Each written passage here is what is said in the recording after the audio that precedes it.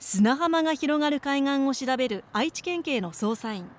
今朝早く美浜町の海岸で男性の遺体が見つかり警察が事件と事故の両面で調べています。今日午前6時半過ぎ美浜町土岐市の海岸で散歩していた男性から海岸に人が打ち上がっていると110番通報がありました。警察が確認したところ身元のわからない男性がうつ伏せの状態で死亡していました。男性は細身で黒い半袖の T シャツに黒の長ズボン姿で茶色の靴を履いていたということです。警察は遺体を司法解剖して死因や身元の特定を進めるとともに事件と事故の両面で捜査しています。現場は名鉄講和駅から北に1.5キロほどの場所で近くに国道も通る海岸です。